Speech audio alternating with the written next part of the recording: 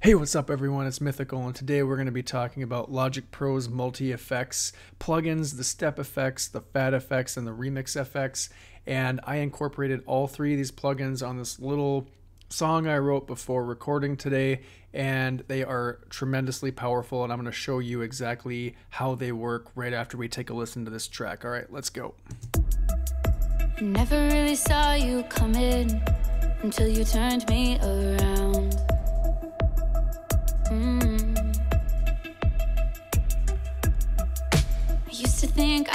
Was nothing, but look at this love we found.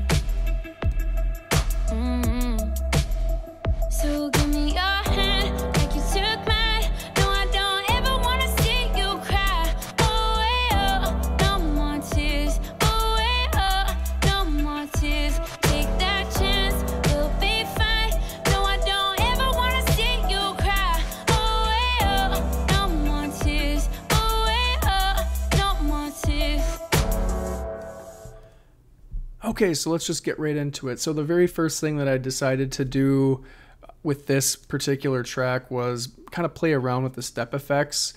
And the step effects is a really cool gating tool that has nearly endless possibilities. And what I wanted to do was give my simple, basic little hi hat pattern a little bit more character and a little bit more of a filtering modulation gating kind of feel. And that's exactly what the step effects uh, help me out with very easily by the way.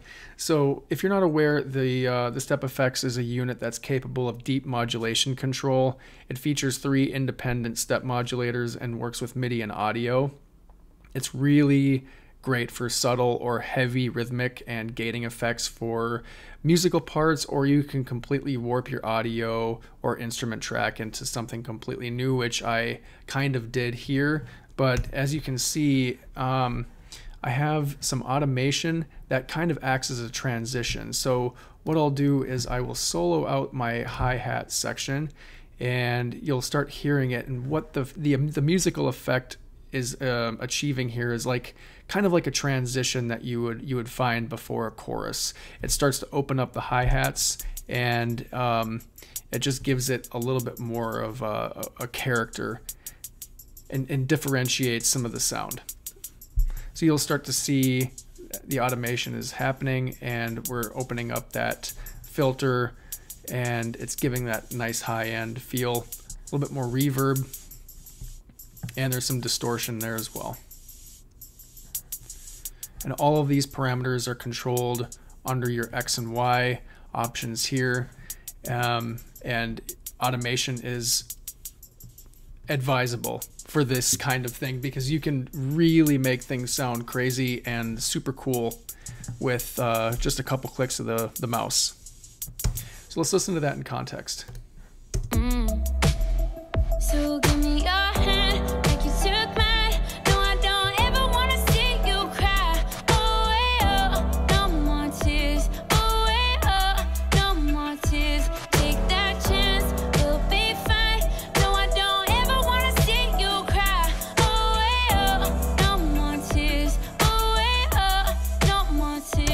Very cool.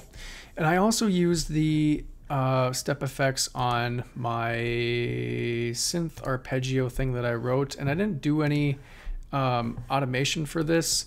But what I did was I chose a preset, and all it was is the deep space preset. And what this is giving me is some filtering, some reverb, and panning because the original arpeggio, even though it sounded cool, we'll listen to it now with the uh, step effects on. You can hear it's very atmospheric and it has a really cool panning effect, but when I turn it off, it still sounds cool, but not as cool as this preset for sure. And this is no automation, this is straight out of the box. So, pretty amazing stuff. So the next thing that I did was I worked with my bass, and that is uh, the Phat Effects. Let's get rid of that. Okay, so the Phat Effects is really powerful. Um, it's a powerful coloring multi effect tool, and it's designed mostly for drums, bass, and guitar. Uh, but it's not limited to vocals because it, it has a lot of the uh, nice gluing um, effects that you could you would find out of tape saturation and other distortion modules. It has a, a simple compressor. You can sidechain it uh, very easily to anything as well. And just like the step effects, you can move around your signal chain down here uh, with ease to make your own basic signal chain. So with the bass, I did just some distortion, uh, mod effects, and then bass enhancer. And I really liked the mod effects because it acts as a pseudo chorus like effects, and you can choose between four different presets like a classic, soft, doubler, and heavy. And I just chose the doubler, kept my mix at 50%, and chose um, 60 hertz for the mod effects and the bass enhancer to kind of give that nice round tone. Um, and it widens the bass a little bit too, and I'll go ahead and play it. This is with the Phat effects on. Off. I'll solo the drums with this as well. Phat effects back on.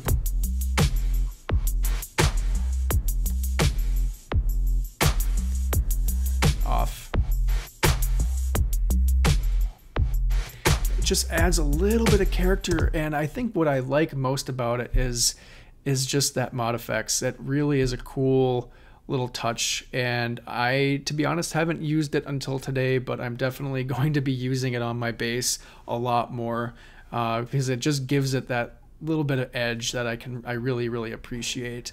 So yeah like the step effects everything is uh, able to be automated. Um, it's nearly endless with the things that you can do. So give it a shot. If you haven't been using it um, try try using it on, on on your drums and bass and guitars or vocals. I think you're really going to be pleased with the result.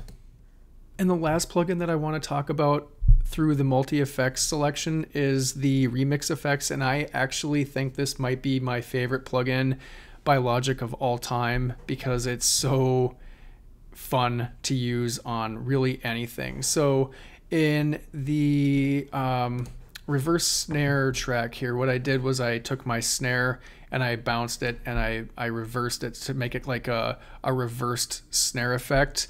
Um, but I wanted to maybe add a little bit of automation and, and gating effect to it to maybe make it sound a little bit um, cooler, have a little bit more character. And what I did was I just basically automated this gate parameter here, and I'll show you right now. So as we play this, you'll see it turns on, off.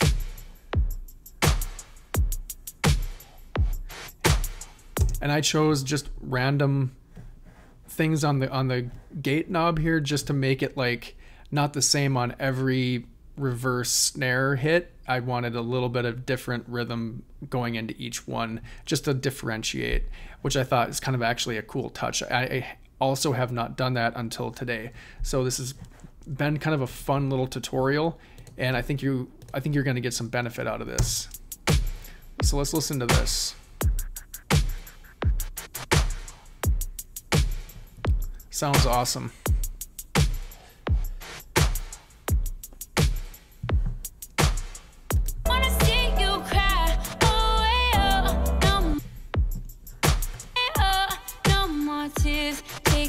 Chance. We'll be fine. Cool. Now I also put it on my vocal track, but I didn't do any automations with this because I think this part I'm just going to sit and play with the plugin to show you the different things that you can do. The remix effects, if you're not aware of it, if you haven't been using it, it's basically a DJ inspired multi effects unit that controls several real time effects that are common in like dance music and electronic music. So I felt it was very appropriate for this particular tutorial and, and song. Um, it's kind of like a turntable, and you can play audio in reverse You can downsample things. There's a repeater. There's a filter, like a high pass and low pass filter. Um, you can choose between different uh, wobbling and orbit effects and some um, delay and reverb. They're mostly like uh, filtering between like phasers and some other stuff, like a, a combination. Uh, but we'll go ahead and play with all of them, and I will just show you what this thing sounds like because I think it's super, super cool. Okay, let's go. Let's just go ahead and loop it and play. Never really saw you coming until you turned me around. Do some filtering. Mm. I used to think I was nothing. Look at this love we find. Okay, let's do some gating.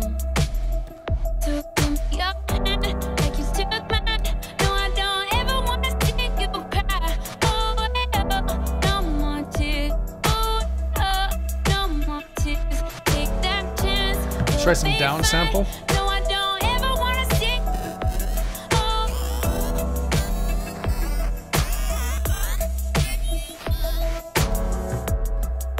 Never really Try the saw repeater. you coming until you turned me over. Till you turned me over. Till you turned. Till you turned. Till you turned. Till you turned. I used to think I was nothing. Look at this love we found. Okay, So give me Let's try wobble.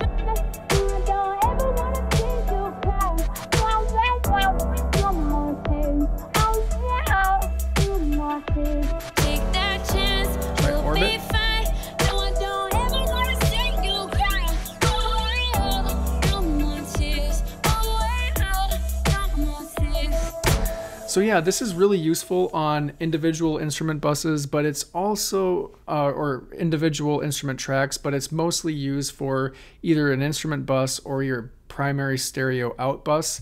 And I'll actually just go ahead and, and copy this right over to my stereo out and we'll listen to the whole track and then we'll play with the remix as a, a whole unison track. And you'll get to see and hear what that sounds like as well. So let's go ahead turn it back to the filter, start from the beginning. Never really saw you coming until you turned me around. Let's go to the actual mm-hmm. stereo out. Here we go. Used to think I was nothing. But look at this That's what the orbit preset sounds like, just kind of cycling through the mm-hmm. filter. Let's go back to the regular high pass, low pass.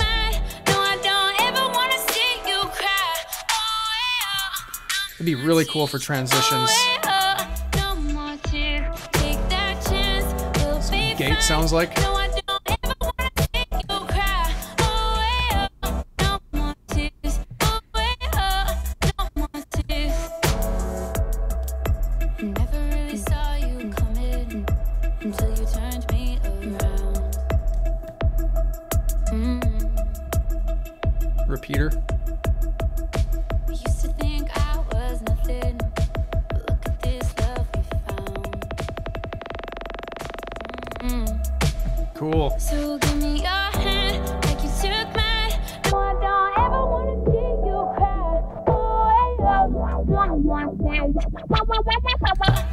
Yep, it is nearly endless, and I could probably play with this for hours. I really hope that you found some benefit off of this tutorial, and I think that if you use these three different uh, plugins in your mix, you're going to find that not only will your uh, mixes improve by quality, but your inspiration will also go up as well. You know, to make things sound more interesting and less bland. But yeah, if you want, please consider hitting that subscribe button and notification bell if you want to stay up to date with more of these Logic Pro 10 tips and tricks. And if you liked the video, please give it a like. And if you disliked it, well, hit that dislike button. Otherwise, I'll see you next time.